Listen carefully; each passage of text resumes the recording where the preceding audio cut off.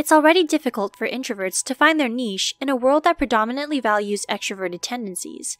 As a result, introverts' needs are often overlooked, including the way they function in relationships. Here are 10 things you must consider if you're dating an introvert. Number 1. Hold meaningful conversations. Introverts look for depth in a partner, someone who can keep up with them when they talk about possibilities and theories.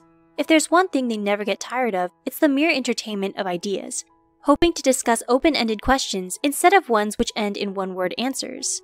Enlighten them with your knowledge and wisdom. After all, intelligence is sexy, classy, and timeless.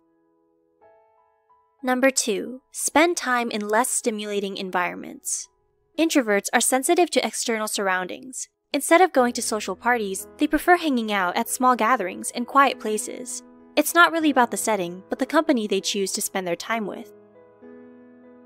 Number 3. Take it slow. A slow and steady pace wins the race to an introvert's heart.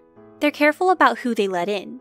They like to gather as much information as possible before they display more affection towards people. While their self control might make them less exciting on the surface, there's so much more they can offer in a relationship that isn't based solely on impulse. So don't take it the wrong way if they don't display a lot of affection on the first date. Number 4. Be sensitive. Introverts tend to internalize a lot, so they're prone to bottling things up inside. They need someone who can sense and consider their feelings because they don't enjoy starting conflicts. That's not to say that they're necessarily afraid of it, but they're more careful about what battles to fight. Number 5. Provide mental support. Introverts are prone to overthinking and overanalyzing. It's hard for them to stay in the present when their minds are filled with thoughts and concerns. They don't mean to do it, and it might create a distance and misunderstandings as a result. Try not to take it too personally. Chances are, they're probably ruminating over what move to make next because they care about how your relationship is growing, or they may have a lot of other things going on in their lives. Play the best friend role and provide support. It'll help them ease up and they'll appreciate you more than ever. Number 6. Read between the lines. Introverts are very subtle, so they're not usually outwardly flirtatious. The way they communicate is very nuanced. Pay close attention to what they say and how they say it too. Sometimes, even the smallest phrases can have large meanings behind them. Number 7. Respect their space. While they may like you, introverts also have a need for space. They need to go off on their own to recharge, so it's important not to be overbearing or suffocating.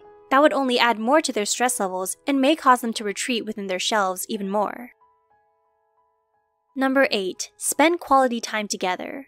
It's not about the amount of activities you guys end up doing, but the way you two interact with each other. Spending quality time with an introvert is crucial. Although it may seem as if they go off on their own, at the end of the day, they still crave meaningful human interaction. Learning to make the most out of time spent together creates a strong bonding experience. Number 9. Fully accept them. We live in a culture that's obsessed with self improvement, always striving to be better. As introverts living in an extroverted world ever since a young age, they're seen as individuals who can be molded and conditioned to love being in the spotlight, because better somehow translates to extroversion, which is pretty dehumanizing. When they're trying to build and maintain stable relationships, they don't want to be seen as potential projects to be fixed. Instead, reassure them and be sure to express that you love them for who they are. Number 10. Don't assume. Always ask questions and communicate with introverts. They may be slow to reveal things, as communicating doesn't come easily to them, and their silence can often be misinterpreted. That's not to say they're incapable of expressing their thoughts, but a lot of potential conflict can be avoided as long as you encourage them to converse with you. What are your experiences with dating an introvert? Are you also an introvert? Do you agree? Leave your thoughts in the comments below.